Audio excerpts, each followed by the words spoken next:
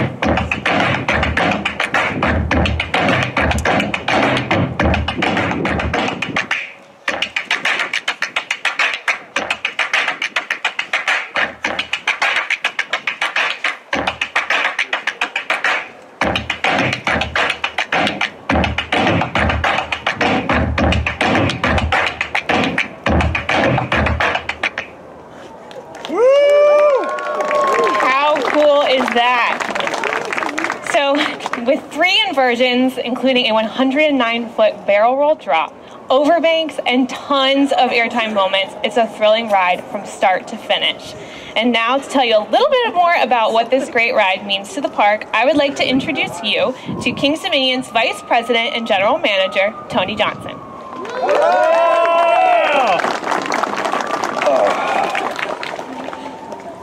All right, let's get rid of the rumors. I was here in 1950, okay?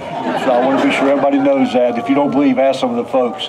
Also, I apologize. Uh, I got accused the other day of thinking this it was time for Winterfest. It, it's not, okay? We're back and we're focusing on Twisted Timbers. So, on behalf of all of our full-time and seasonal associates, I want to take this opportunity to welcome each and every one of you to our media and VIP preview.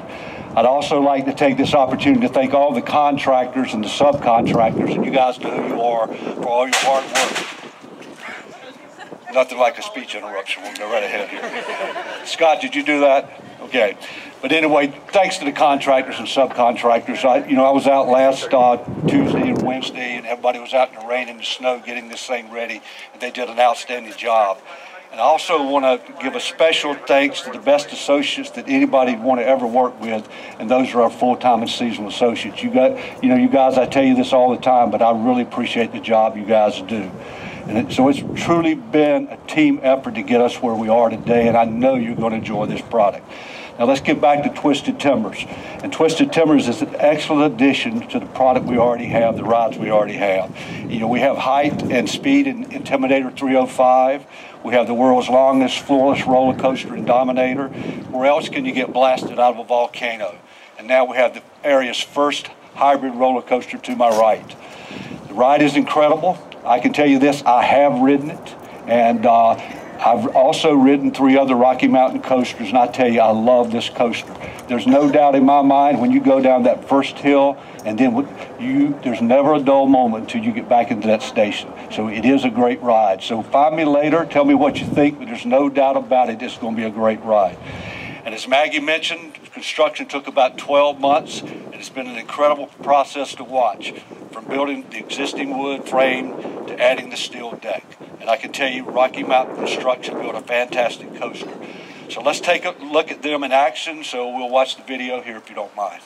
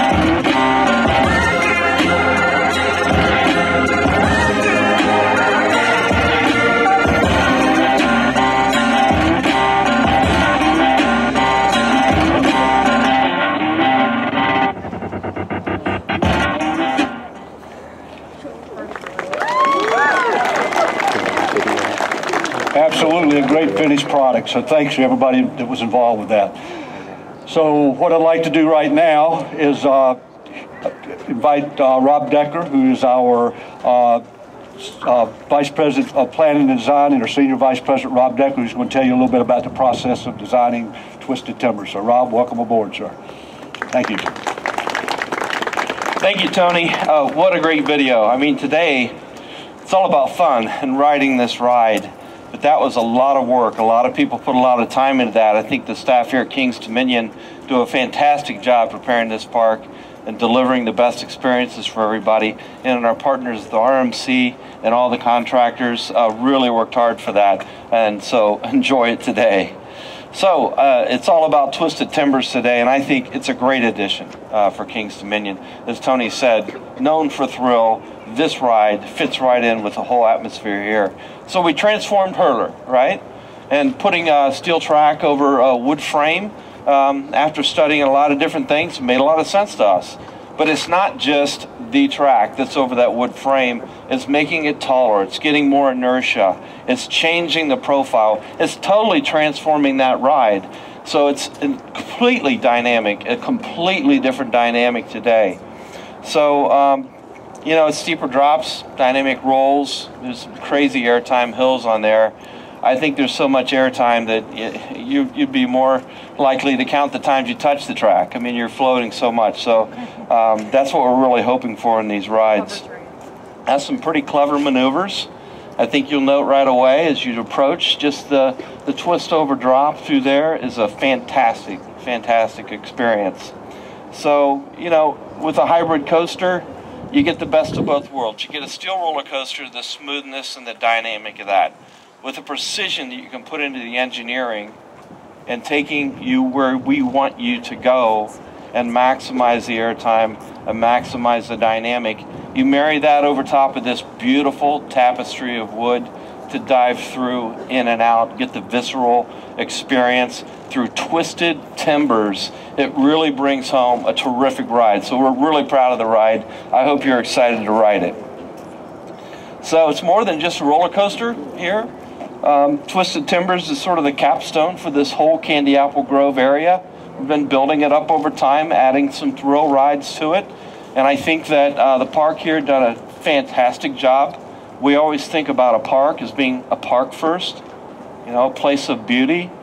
A really nice plaza here was developed so that we can hold festival events and invite you back for, for you know, this event and that event throughout the year, ride the rides and have a great time.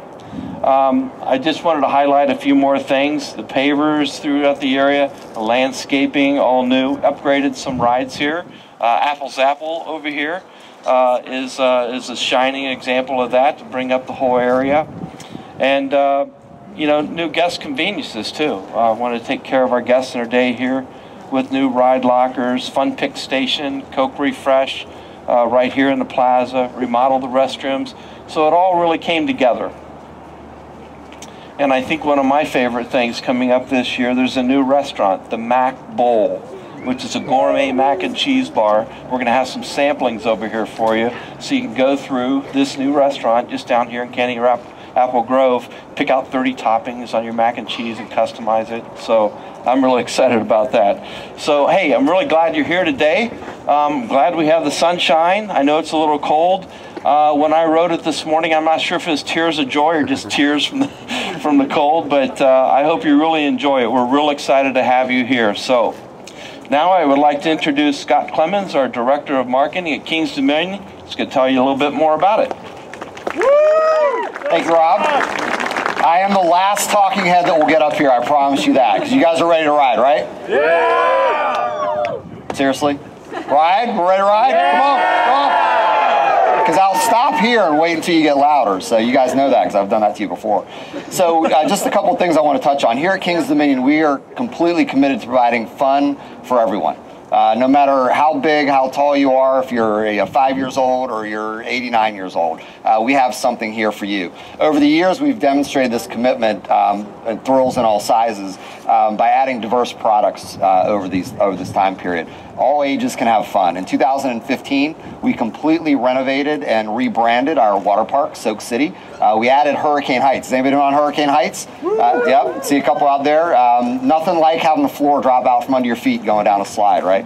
Uh, in addition to that, we added a children's splash pad so uh, families with young kids could enjoy that. So again, diversity of product is very important to us. In 2016, if you look back there, if you haven't ridden Delirium, make sure you do that. Nothing like a spinning pendulum to get your uh, blood pumping. So added that in 2016. And then of course last year we went, had a little bit of focus on our uh, kids area. We've got the world's largest Peanuts themed children's area and it is just a fantastic place for families to enjoy. We added three new rides, a wonderful event pavilion, uh, Coke refresh, refresh stations, etc. So again, we are committed to providing diverse products so that everybody can come I don't know, but you know, you can get a thrill on a roller coaster like Twisted Timbers. But I know when I had young kids uh, and they walked up and saw Snoopy for the first time, that was just the biggest thrill because uh, the look on my kid's face. So we are committed to that family experience. So a couple other things. How many pass holders we have here today? Woo! Fantastic. Uh, so best value obviously is the season's pass. And if you have not heard about this, we talked about little kids, and I know Snoopy and Charlie are really excited about this free, free pre-K pass. If you have a kid that's three to five years old, they can get a season's pass for free. So go online and check that out and uh, make sure that you uh, take advantage of that special offer. So enough of selling you a season's pass, but I will say one more thing about a season's pass. Has anybody heard about this thing called Winterfest? Yeah! Boy, you guys must be cold. Winterfest! Come on!